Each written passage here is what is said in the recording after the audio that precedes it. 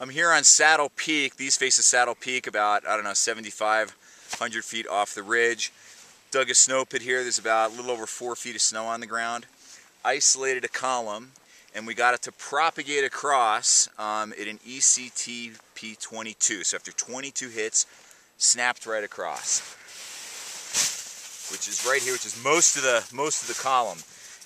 It's the the bottom foot and a half, two feet is like sand. It's it's really junky, big, faceted, kind of depth hoar crystals. Right now, it seems like it's the snowpack has definitely been adjusting to the little load that it has been getting.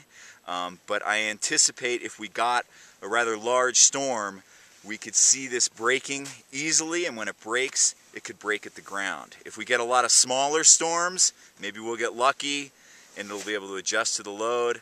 But looking at the snow structure, it's really bad. We've got loose, kind of junky, depth hoar, not strong snow trying to hold up whatever comes in. So we're going to be paying close attention to this and how the storms come in, how much snow falls is going to be really crucial as to whether or not this thing slides.